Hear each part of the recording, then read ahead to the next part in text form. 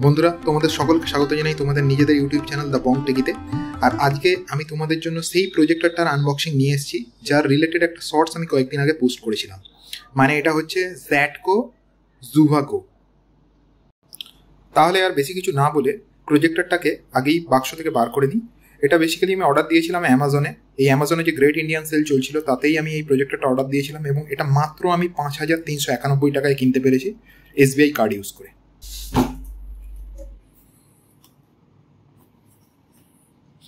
তো তোমরা দেখতে পাচ্ছ, এইটা হচ্ছে প্রজেক্টরের বাক্সটা।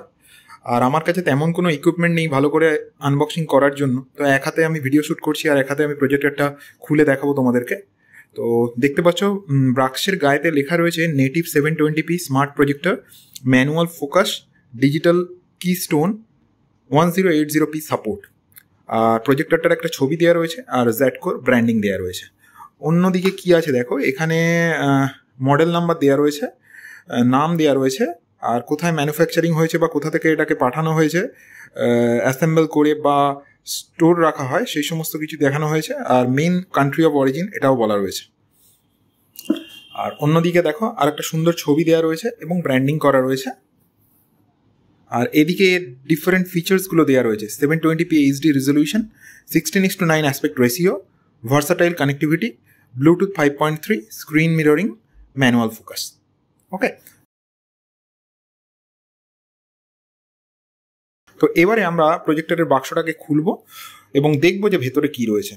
যথেষ্ট সুন্দর প্যাকেজিং প্যাকেজিংয়ের কোয়ালিটিটাও বেশ ভালো লাগল আমার। তো দেখাই তোমাদের এর ভেতরে কি রয়েছে।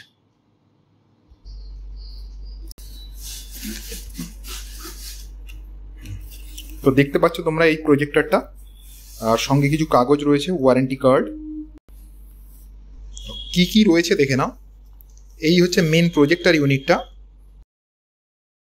সঙ্গে একটা এভি কেবেল রয়েছে আর এই পাওয়ার কর্ডটা দেওয়া রয়েছে। আর এই যে বাক্সটা ভিতরে ছিল, তাতে মেইন জিনিস সেটা হচ্ছে আমাদের সুন্দর একটা ছোট্ট রিমোট যে কোনো অ্যান্ড্রয়েড টিভিতে বা অ্যান্ড্রয়েড বক্সে আমরা এই ধরনের রিমোট দেখতে পাই। তো এক্ষেত্রেও আমরা একটা মিনিমালিস্টিক রিমোট দেখতে পাচ্ছি। তো বেশি কি এতে নেই এম এস প্লাস মাইনাস ভলিউমের জন্য ব্যাক করার জন্য প্লে পজের একটা বাটন থ্রি ডটের একটা বাটন রয়েছে। ওকে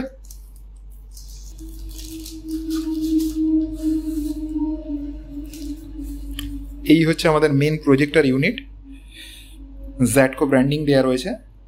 এটাকে এইভাবে তোমরা দাঁড় করিয়েও রাখতে পারো। কারণ তোমরা ছাদেতেও এটাকে প্রজেক্ট করতে পারো। উপরের দিকে দেখো ম্যানুয়াল ফোকাসিংয়ের জন্য একটা হুইল দেওয়া রয়েছে। এক্ষেত্রে তোমরা দেখতে পাচ্ছ যে লেন্সে কোনো কভার নেই, এটা টোটালি ওপেন রয়েছে। এইটা হচ্ছে বেস যেটা বেসিক্যালি ইউজ করে তোমরা এটাকে দাঁড় করিয়ে রাখতে পারবে। তো এখানে দেখো ব্যাক সাইডে কি কি পোর্ট দেওয়া রয়েছে। অবশ্যই পাওয়ারের জন্য একটা পোর্ট আছে, যেটাতে পাওয়ার কেবলটা লাগাতে পারবে এবং সেটা থেকেই প্রজেক্টরটা পাওয়ার নেবে। একটা এইচডিএমআই পোর্ট রয়েছে।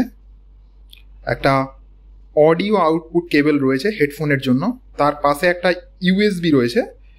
USB two point zero port রয়েছে, যেটা ইউজ করে তোমরা পেন ড্রাইভ ইনসার্ট করতে পারবে এবং সেটা থেকে ডাইরেক্ট মুভি বা অন্যান্য ভিডিও চালিয়ে দেখতে পারবে।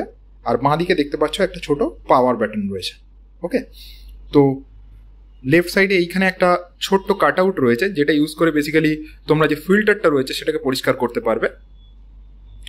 আর এই সাইডে অন্য কিছু নেই। তো এই নিয়ে খুবই সুন্দর একটা ডিজাইন, খুব সুন্দর বিল্ড কোয়ালিটি আমি এখানে কিছু তোমাদেরকে গ্লিমস দিলাম। এটা হচ্ছে ইন্টারফেসটা আর ইউটিউবে আমি একটু ভিডিও চালিয়ে তোমাদেরকে দেখিয়ে দিচ্ছি যে ভিডিও কোয়ালিটিটা মোটামুটি কেমন লাগে। আশা করি তোমরা প্রত্যক্ষ করবে যে ভিডিও কোয়ালিটিটা খুবই ভালো। এই ভিডিওটা একশো আশি পিতে চলছে ইউটিউবে ডিরেক্টলি তো কালার রিপ্রোডাকশন অত্যন্ত সুন্দর লেগেছে আমার। তো তোমাদের কেমন লাগল সেটাও আমাকে কমেন্ট সেকশানে কমেন্ট করে জানাবে।